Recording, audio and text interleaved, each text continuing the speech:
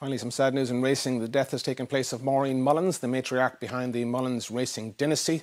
Mother of trainers Willie, Tony, and Tom, Maureen was also a successful owner and breeder in her own right.